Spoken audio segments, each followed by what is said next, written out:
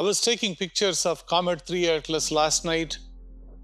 I started around 9.30 or so. Comet 3i is in this unique position where the sunlight is shining directly on the Comet 3i while we are looking at it when it is going towards Jupiter. But anyway, so I was taking pictures last night and I wanted to share my thoughts about how the pictures are looking. I'm going to show you the pictures as well. So on January 22nd, 2006, we will be seeing the Sun, Earth, 3 Atlas are on the same plane. Jupiter is on the other side of 3 Atlas. So we will be seeing the Sun shining on 3 Atlas and Earth, folks on the Earth like us, looking at 3 Atlas in full brightness. I think we are seeing that already a little bit now, but I think on 22nd we'll also see it properly aligned as well. We will see how pictures will differ from what we are taking today versus on the 22nd. So we have this anti-tail tail of this comet and then I was showing this interstellar object having like jets, right? What I'm noticing now is a lot more pronounced jets of Comet 3i. The jets are not long, they, they became shorter. I don't know, it's like that's how at least I look at it. And they are much shorter, shorter jets. There are like five or six of them around. And usually that those jets are the ones that are rotating all the time whenever we take pictures and try to time lapse it. And now the shorter jets are still rotating. I'll show you those pictures. It's pretty unique appearance on how it is looking. So this is another unique view on January 22nd.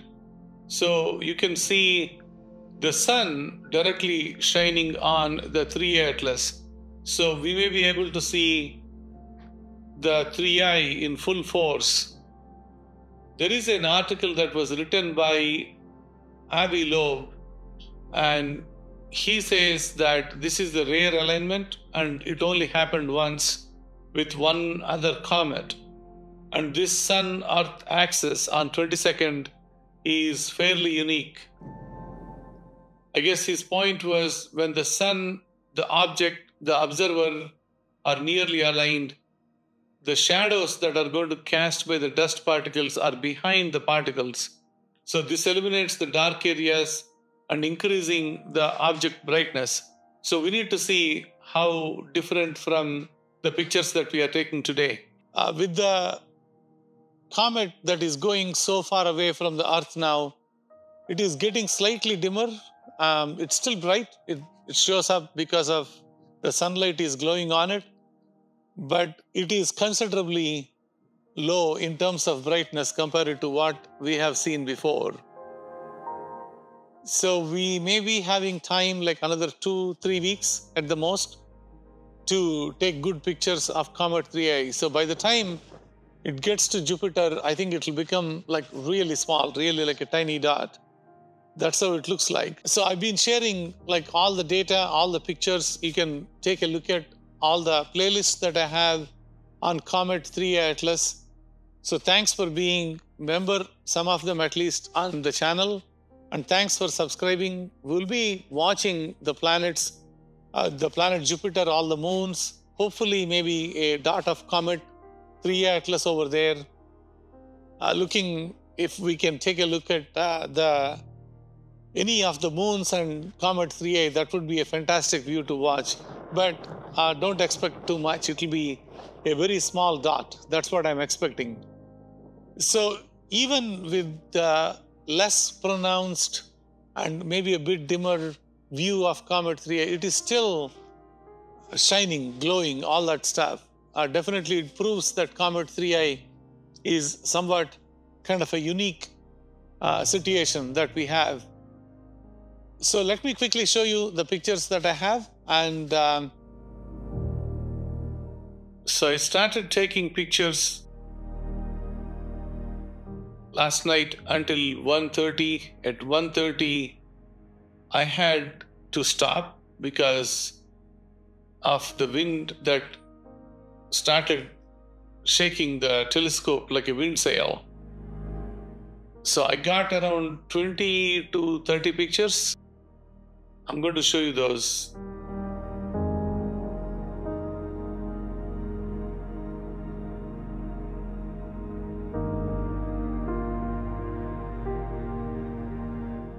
Anti-jet that is there is pretty significantly visible now, more prominent than ever before.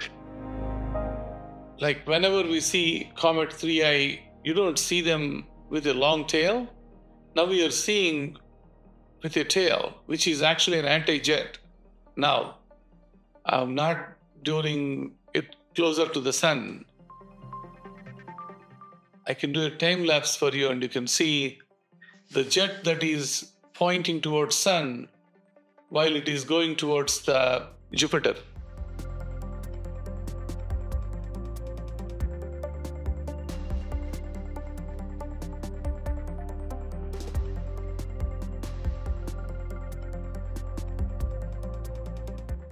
You can see some of the stars are moving because of the wind.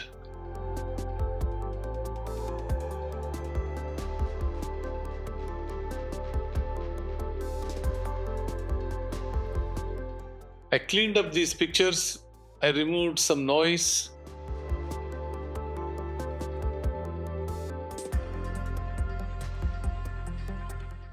Is still looking very bright.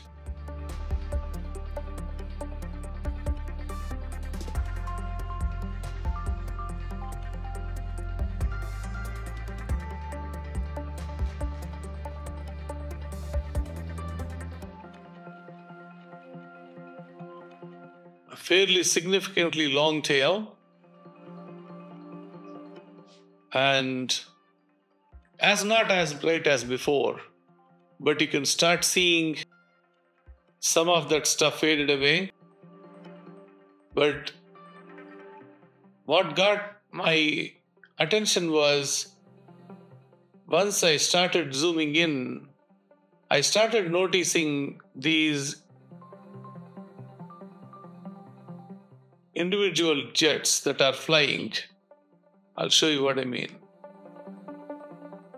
Right around there. You see that?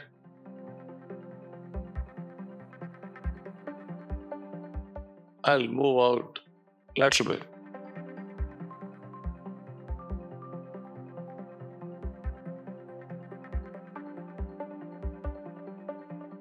You will see right there. You see that? Those, I hope you can, I, I'll further zoom in a little bit. You will see like these two here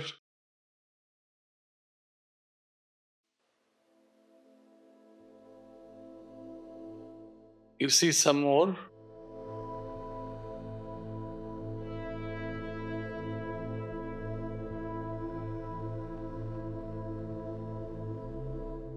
You can only see it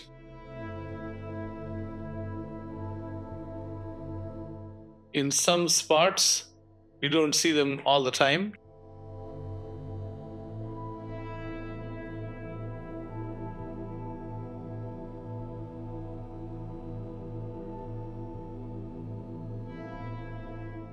Anyway, I did a comet alignment so that it doesn't move. So now the stars will move, the comet will remain in one place.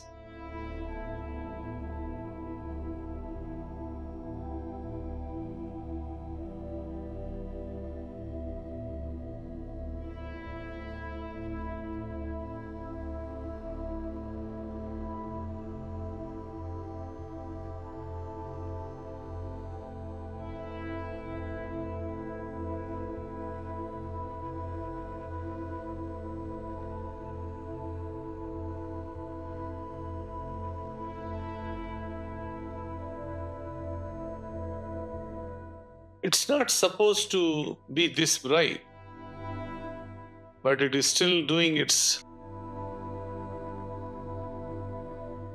Let me zoom in further.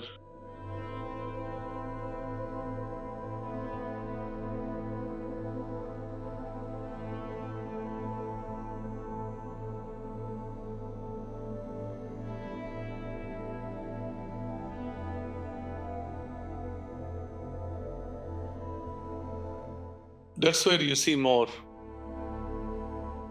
You see that? Like multiple of them. I, I zoomed in as much as I can.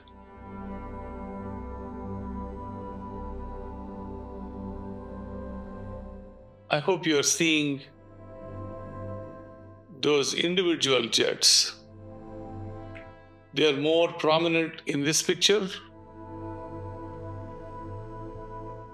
in this picture as well.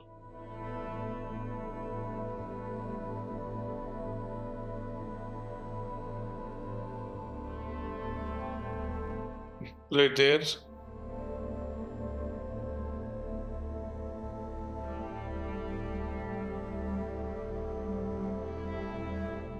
Not really sure why those jets are much smaller now. Maybe because it is too far from the Earth.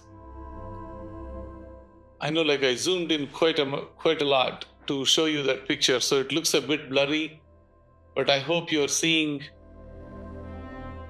some some uh, data at least.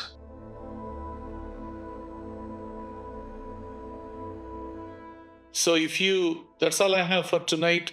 I'm going to take pictures again this evening. I will show you the pictures tomorrow because it's getting pretty interesting now how these pictures are coming out. I'll see you all tomorrow in the next video. Thank you. If you haven't subscribed to my channel, please do and uh, click on the like button and notifications button. Uh, appreciate for all the memberships all the people who joined as members to the channel. Thank you.